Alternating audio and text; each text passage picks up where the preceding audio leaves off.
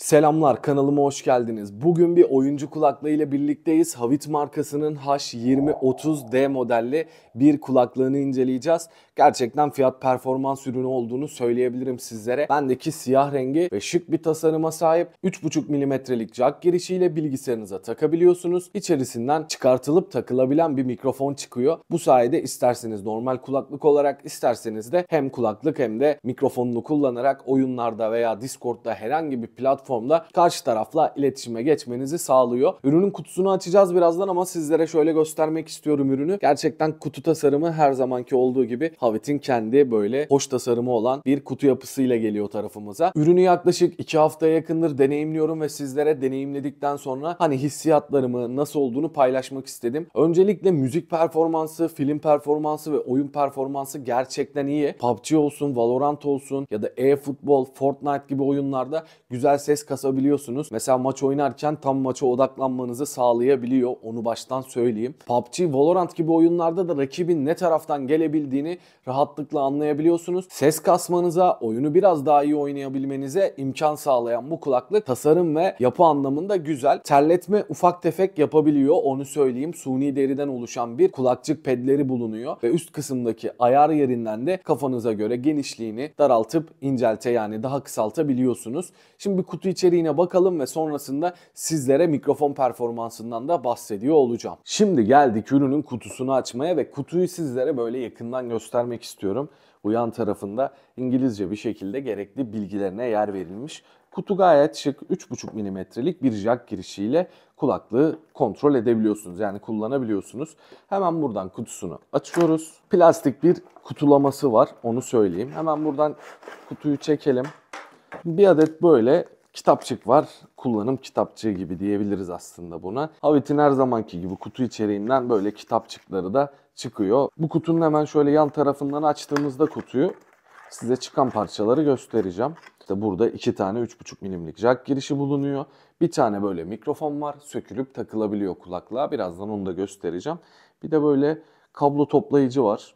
Bunu da kullanmak isterseniz böyle bir mıknatıslı demeyeyim de cırt cırtlı bir kablo toplayıcı. Kulaklığın ilk hissiyatı gerçekten güzel. Premium segmentte hissettiriyor gerçekten. Yan tarafları böyle tırtıklı bir yapısı bulunuyor. Buradan açıp kapatabiliyorsunuz. Şöyle. Bu da aynı şekilde genişleyip kısalabiliyor. Kafanıza göre ayarlarsınız. Pedlerine baktığımızda yumuşak bir ped yapısı bulunuyor. Hani böyle çok fazla kulağı terleteceğini düşünmüyorum ve ağrı da yapmayacağını düşünüyorum.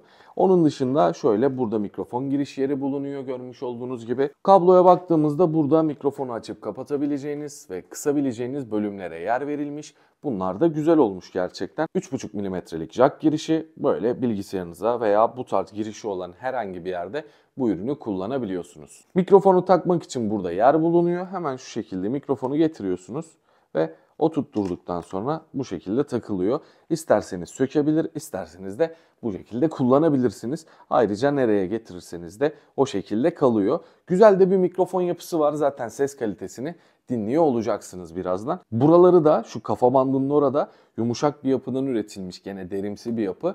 O da güzel esnekliğine baktığımızda gayet esnek bir kulaklık. Şu anda sesimi Havit markasının kulaklığı üzerinden duyuyorsunuz. Daha doğrusu mikrofonu üzerinden.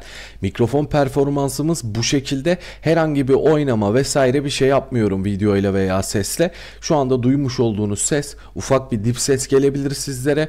Kulaklık gerçekten fiyat performans anlamına baktığımızda ses kalitesi çok çok iyi ama mikrofonunda birazcık eğer efekt kullanmazsanız veya bir ekstra bir yazılım kullanmazsanız biraz dip ses geliyor. Birkaç cihazda denedim. Ufaktan bir dip ses geliyor ama ses kalitesi oyunlarda çok iyi kasabiliyorsunuz ve mikrofon da oyunlarda size yeterli oluyor.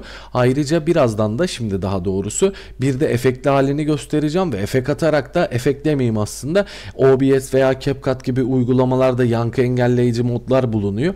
Onu açtığınızda çok tok ses ve çok güzel bir ses geliyor. Şimdi onu da sizlere bir göstereyim ses performansının böyle efektli halini de bir görmüş olun. Şu anki performansla CapCut'ta yankı engelleyici modunu açtım ve sesi şu anda duyuyorsunuz. Bir ufak susuyorum hemen. Görmüş olduğunuz gibi ne dip ses alıyor ne de hışırtı alıyor. Baktığınızda ufak tefek yazılımlarla, ufak tefek programlarla ya da ufak tefek oynamalarla sesi profesyonelleştirebiliyorsunuz. Mikrofon ağzımdan uzakta. Biraz yakınlaştırayım hatta sizler için. Şu anda mikrofon yakında çok fazla bağırmak istemiyorum. Kulaklıkla dinleyen, izleyen arkadaşlarımız olabilir. Ses gerçekten yüksek geliyor. Şimdi tekrardan uzaklaştırdım ki ses çok fazla tarafınıza gelmesin diye. Bu da yankı moduyla mikrofonun performansıydı. Kulaklığın hem kutu incelemesini hem de mikrofon performanslarını sizlere göstermeye çalıştım. Şu anda kulağımda takılı. Kulağı iyice sardığı için dışarıdaki sesleri duymanız biraz daha zorlaşıyor. Bu sayede daha iyi ses kasımı yapabiliyorsunuz. Yani kulaklıktan gelen sese iyice odaklanabiliyorsunuz. Mikrofonu var. Zaten bunu göstermiştim. Buradan çıkartıp takabiliyorsunuz rahatlıkla. Bunu çıkarttığınızda normal kablolu bir kulaklık olarak da kullanabilirsiniz. Sadece bilgisayar olarak düşünmeyin. 3.5 milimetrelik jack girişi olan her cihazınızda bu ürünü kullanabilirsiniz. Ya da isterseniz bir dönüştürücü alarak 3.5 milimden USB'ye, Type-C'ye, Lightning'e, telefonlarınıza ya da tabletlerinize herhangi bir cihazda kullanabilirsiniz. Esnekliğine baktığımızda gayet esnek bir kulaklık olduğunu söyleyebilirim sizlere. Ve şu yan taraflarını görüyorsunuz değil mi? Pütürlü bir yapısı bulunuyor ve bu da gerçekten güzel olduğunu gösteriyor. Yani böyle premium segmentte. Yan tarafı açtığımızda da bayağı bir şekilde genişliyor görmüş olduğunuz gibi. Üst kısımda da Havit markasının bu yan taraflarında da logolarına yer verilmiş. Gerçekten kullanışlı. Tabi dezavantajları da var. Birazcık dediğim gibi terletme yapabiliyor. Kulak etrafınızı iyice sardığı için hava almıyor ve kulaklıklar da suni deriden olduğu için birazcık terletme yapabiliyor.